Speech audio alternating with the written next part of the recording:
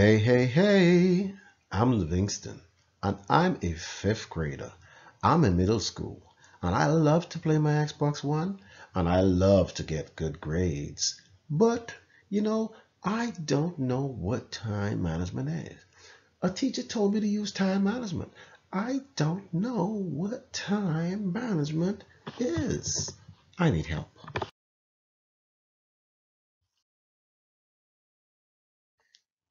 Yes. So, in answer of this question that Livingston has, what exactly is time management? Listen, we all have choices. And we can say Livingston here. He says that he loves to play his Xbox One and he can play Fortnite forever. Uh, is something wrong with that? Mm, I don't think so. But he must also write an essay for homework. And it can take him hours to get it right, is what he says. Fortnite player or playing it all night is a choice. And being an author at work to ensure that his homework is done is another choice. So we all have choices. We have choices um, of what we are going to do and when we should or when we are going to do them. So we see here uh, Livingston's issue. He doesn't know what he should do first. As we go on, we will see. And we'll answer that question ourselves. Yeah. And so Livingston's issue continues. The problem that Livingston has, and many middle schoolers and many adults have is, what should I do first? We see Livingston has homework, and doing homework would cause him to get a good grade in school. We see a star there representing the good grade. And then next we see that he would have proud parents or a proud parent if he was to do his homework. We also see that Livingston's teacher would also be happy if he does his homework. So we see that Livingston can't go wrong by doing his homework first. By making that the first thing he does, he cannot go wrong. It seems as if only good things will happen as a result of Livingston doing his homework, being an author at work. Next, as we said earlier, he also has the choice to play Fortnite. This is a choice.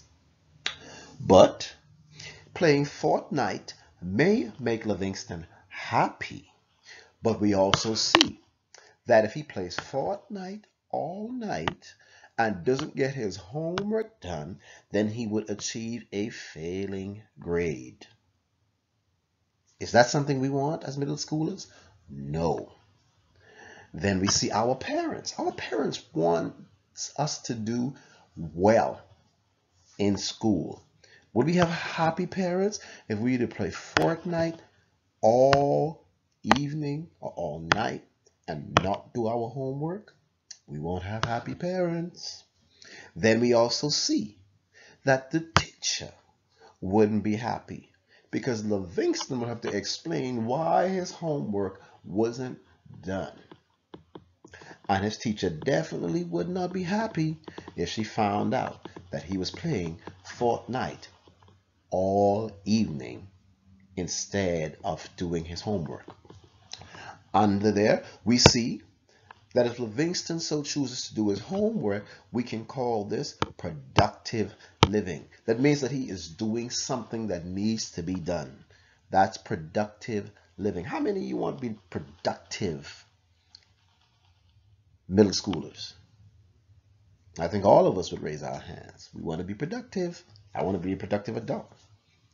And then we see under his choice of playing Fortnite, fun loving. So we can be productive. That's a choice. Or we can just be fun loving. Is it wrong to have fun? No, it isn't. But can we just have fun? I play Fortnite all day, all night. Will that help us at becoming educated, young children? No, it won't. Okay? Good. And we're moving right along, moving right along. Words at work is the segment we come to. Words at work. Productivity. We're still working to answer the question what is good time management? Productivity. Productivity is doing what must be done first. That also leads us a little closer to time management. When somebody uses good time management, it means that they are productive with their time. And productivity means that we're doing what must, that word, must be done first. The clear example of productivity versus fun, remember? Uh, does Livingston have to play Fortnite? No. Does he want to? Yes. Does he have to? No. Must he do his homework? Yes. Does he have a choice? No. Should he do his homework? Yes. If Livingston does his homework first before playing Fortnite, it means that Livingston is a productive middle schooler. Okay? So productivity is doing what must be done first. These things are required. Example, you must do schoolwork. You must do chores if your parents gave them to you. You must brush your teeth to practice high, well, good hygiene. You must take a bath also to practice good hygiene. And other important responsibilities. We must do the things that are most important. When we do the things that are most important first, then we are being productive. We are practicing productivity. We are also practicing time management. Okay, boys and girls, middle schoolers, the saga continues. Words at work. The next word is fun. There is nothing wrong with having fun. Let's get that straight, okay? I don't want you boys and girls to believe that there's something wrong with having fun. There is nothing at all wrong with having fun. But fun may not be the first thing to do. Okay? If you have homework, you definitely should do your homework first. That would make you productive, as we just said, right? And if you do your homework first, before playing Fortnite, then it means you are practicing good time management. So, you can have fun after the most important things are done. Gaming, playing with friends, watching TV after writing your essay, it is great time management. As long as you did what was most important to be done. Fun. There is nothing wrong with it. Productivity for you to get good grades, for you to make your parents happy, for you to make your teachers happy and for you to become a well-rounded, intelligent adult that is successful, you must be productive. Homework first, productivity, and fun after. What comes first? Homework off for night. Homework. What comes first? Productivity versus fun. Productivity, then fun is a go-to. And so the problem was Livingston didn't know what he should do first because he was unsure of what time management really was. Now that we are a little bit closer, a little bit clearer, a little closer to understanding what time management is, and a little clearer at what time management requires us to do, we can now present a solution. Okay, and we can see here that in order to practice time management, we must choose things in order of rank and priorities. We spoke and so the problem was Livingston didn't know what he should do first because he was unsure of what time management really was. Now that we are a little bit closer, a little bit clearer, a little closer to understanding what time management is, and a little clearer at what time management requires us to do, we can now present a solution.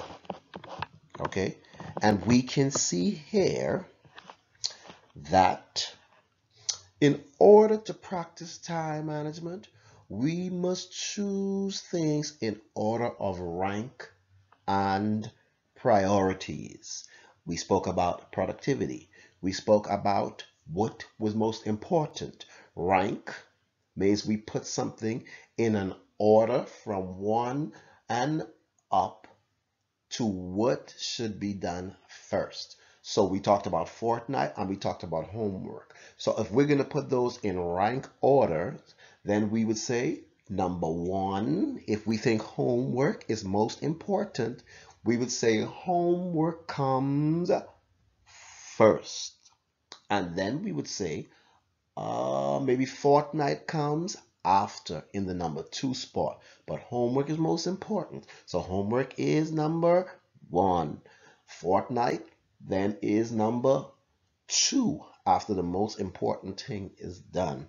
And that would be that is what we're talking about when we say choose what you do in rank order or by priority. Priority is simply saying what is most important.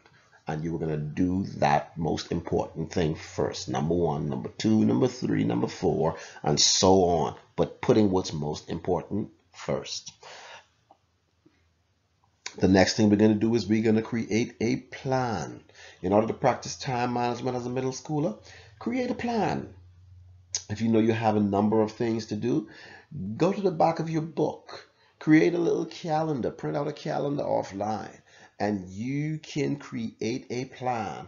What I'm going to do at 2 o'clock, what I'm going to do at 3 o'clock, what I'm going to do at 6 o'clock, what I'm going to do at 7 o'clock and you go on and on and on and you create a plan as to what you're going to do when.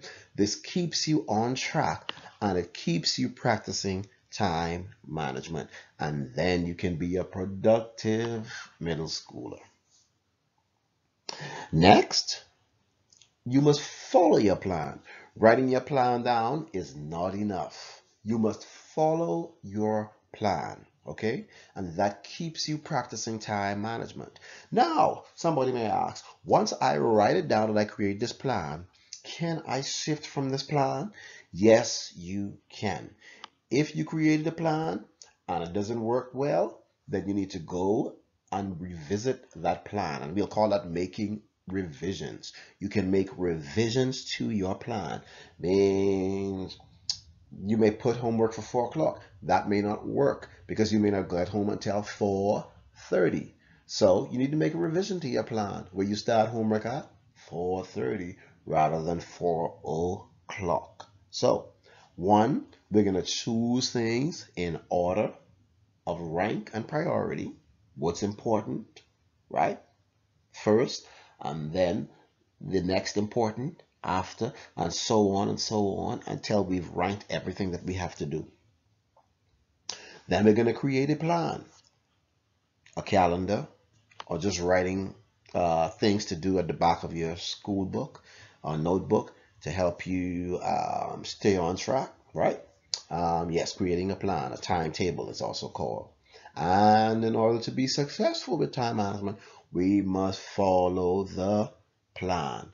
And when we can't follow the plan exactly, then we must make revisions to that plan. This is the solution for Livingston, who didn't know what time management was or didn't know how to use time management. This is also the solution for every middle schooler and even adults. Okay, great. We're moving along.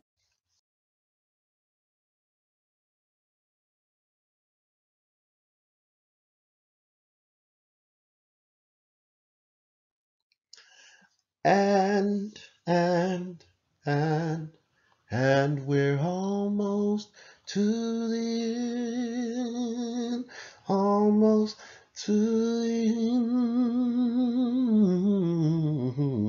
end. What good time management looks like.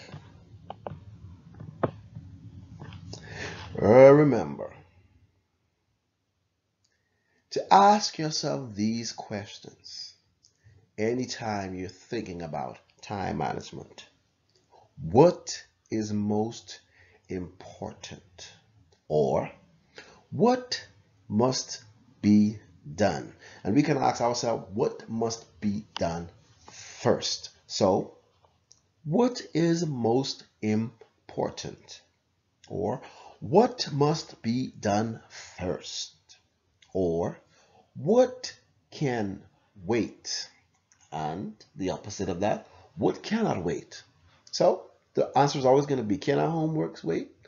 No, our homework cannot wait. Can playing games wait? Yes.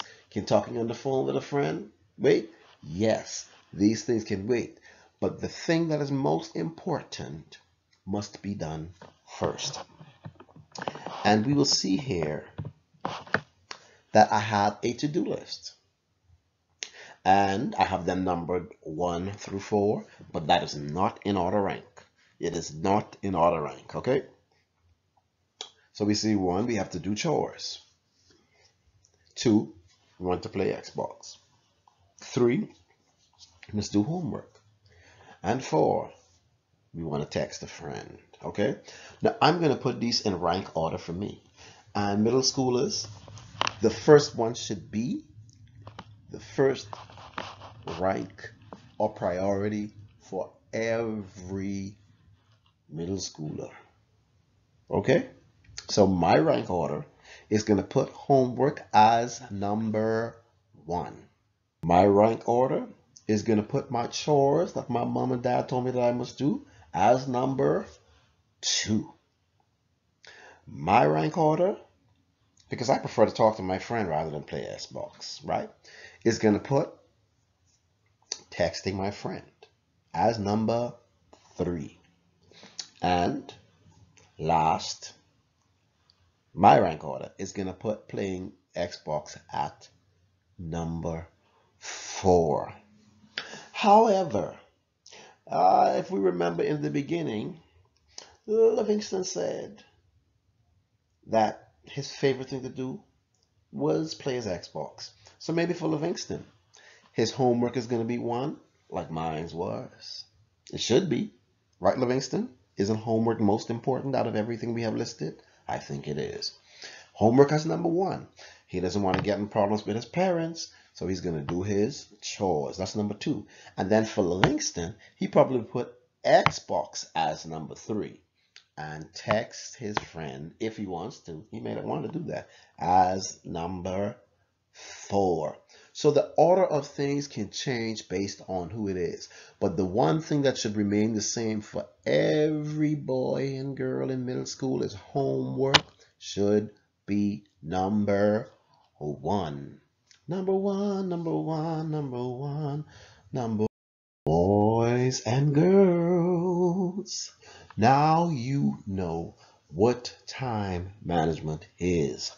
You also know what time management looks like. You also know how to practice good time management. Our objective for this video uh, was to make sure that every middle schooler understands what it means to practice good time management. And now that you know, we are happy. We are happy. Parents will be happy. Teachers will be happy. You will be happy when you get good grades. Livingston will be happy because he loves to get good grades in school. Middle schoolers, shine your light for all to see. Shine your light of time management. Share with your friends, share with your families what time management is all about. Credit Mervin Davis as the video creator. All the singing, all the talking, all the tech work. Mervin Davis, video creator. And at the end we want to say, and at the end we want to say, and at the end we want to say, thank you, thank you, thank you for tuning in.